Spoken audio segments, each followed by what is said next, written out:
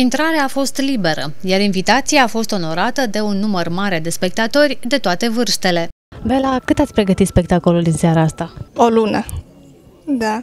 Um, noi pregătim asta, această, mom, această seară pentru voi o oră, o, o lună. O lună. Da, îmi pare rău. Și vor fi două ore de spectacol în care vom vedea ce anume? Uh, noi avem cântec, dans și tai chi. Este tradițional chinezesc. Cine participă? Studenții romei, prieteni romei și oameni, oameni pe Facebook. Prieteni de pe Facebook, da? Da. Uh, cum v-ați strâns? Cum ați reușit să faceți grupul acesta? Mm-hmm. Greu. Greu. It was hard? Foarte, foarte greu. Why? Pentru că, de exemplu, uh, dansă chinezesc e foarte, foarte greu pentru fetele aici, pentru că e foarte, foarte diferent cu, cu român, românească. Da? Și um, pentru că noi este, facem cu prietene singură, noi nu avem așa mult timp sau, da? Și, dar greu, dar foarte fericit. Da. Spectacolul a fost deschis cu imnul chinezesc, cu o scurtă poveste despre festivalul lampioanelor și cu prezentarea celor implicați în spectacol.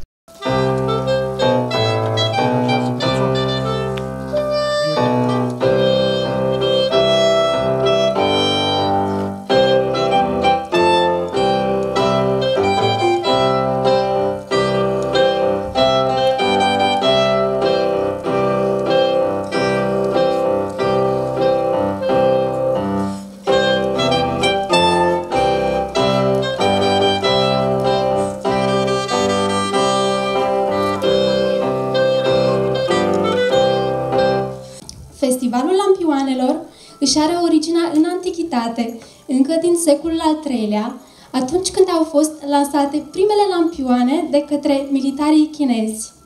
La început ele aveau rol de a îndepărta spiritele rele, apoi au început să fie utilizate ca mijloc de divertisment. Tradiția lampioanelor se păstrează în China de secole, marcând începerea noului an chinezesc. Fiecare participant aduce un lampion la care leagă un bilețel pe care își scrie o dorință pentru anul respectiv și apoi îl înalță spre cer. Lansarea lampioanelor marchează sfârșitul festivităților pentru anul nou chinezesc, simbolizând renunțarea la lucrurile vechi și adoptarea unei noi atitudini pozitive pentru viitor. Mă bucur să împărtășesc acest moment cu voi. Vreau să profit de această ocazie să mulțumesc Universității Ștefan cel Mare și Direcției Județene pentru sport și tineret pentru susținere.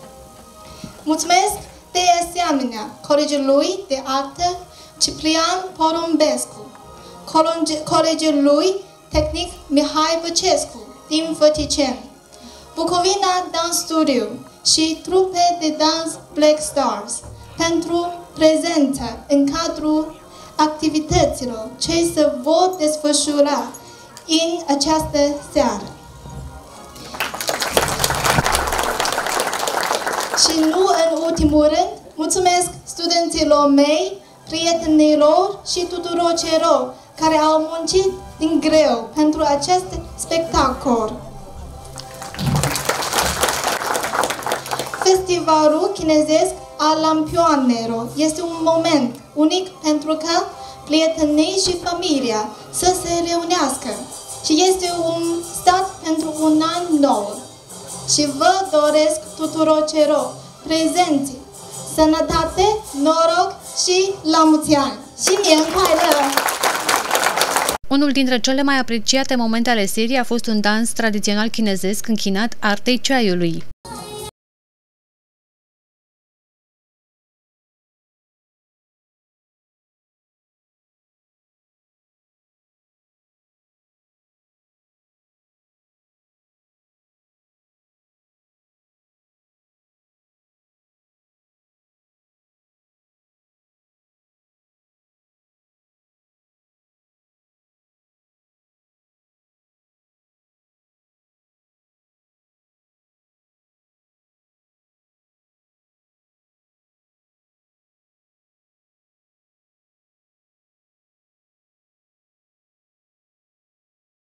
Cum ați început să pregătiți acest spectacol?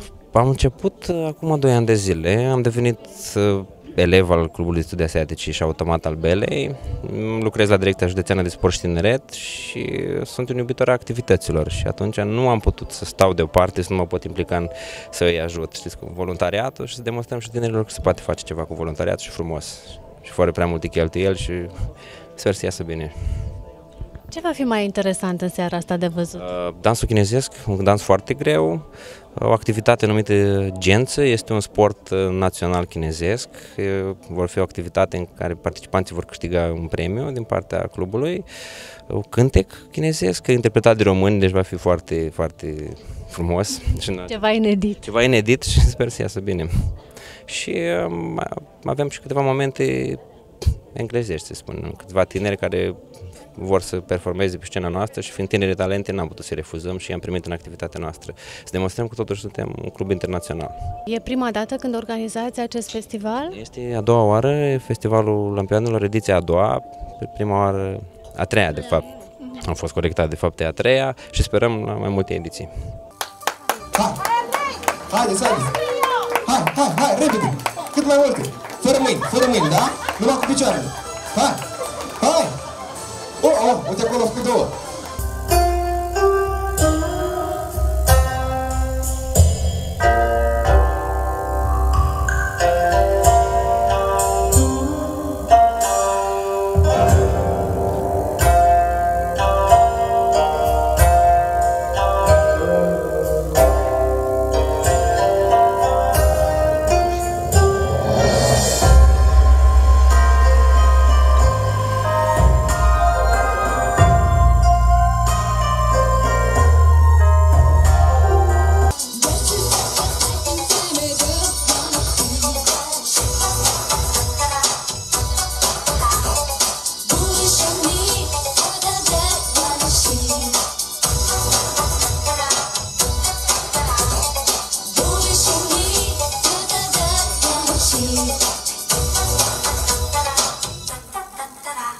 Fost multe evenimente, au fost și evenimente legate de gastronomia chineză, de cultura chineză, am avut seara filmului chinez, iar Bela, profesoara de limba chineză, ne spune că va pregăti un alt eveniment în uh, această primăvară care va fi surpriză. Deocamdată evenimentul se numește Festivalul Lampioanelor, cel de în seara aceasta.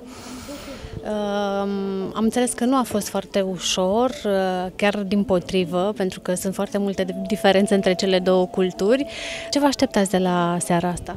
Uh, Sper ca lumea să se simtă foarte bine și să cunoască câteva crâmpeie din cultura și civilizația chineză într-un mod cât mai plăcut, astfel încât să revină la evenimentele organizate de către Clubul de Studii Asiatice România-China.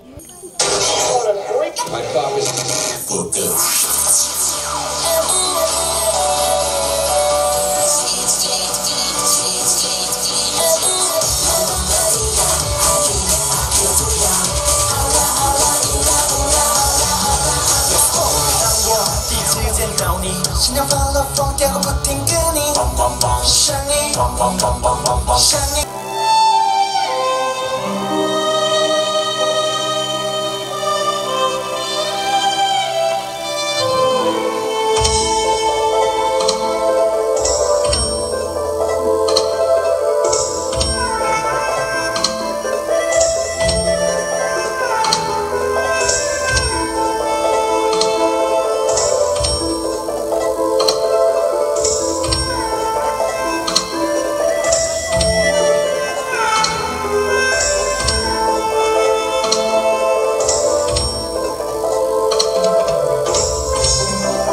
La finalul spectacolului, toți participanții, dar și elevii profesoarei de chineză Bela, au urcat pe scenă și le-au mulțumit spectatorilor cântându-le la mulți ani în chineză.